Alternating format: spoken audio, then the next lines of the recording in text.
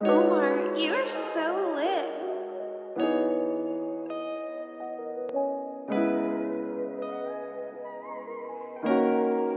Hey, vacuum, that's a banger.